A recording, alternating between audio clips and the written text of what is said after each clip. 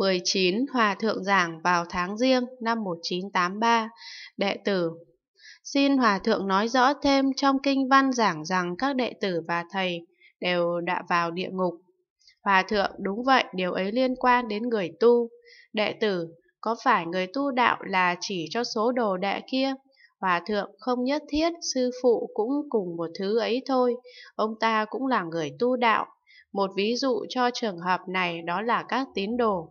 Các ông có thể căn cứ vào người ấy có phạm dâm dục hay không. Nếu người ấy còn có dâm dục, người ấy là ma.